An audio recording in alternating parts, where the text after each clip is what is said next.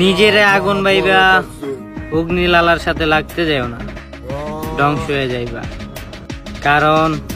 তোমার মতো ওই ক্ষুদ্র আগুনের সৃষ্টি হইছে ওই অগ্নি লালা থেকে Поесть под Оренбургом фонтанчик с черным дельфином И в жизни видеть лишь раз его доводилось জীবন থেকে একটা জিনিস তো ভালো মতোই শিখছি বেইমানদের চেহারায় মায়া থাকে একদম ভরা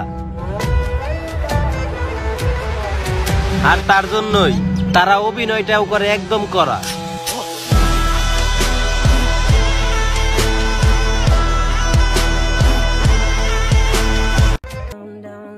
কথা দেওয়ার মানুষের অভাব নাই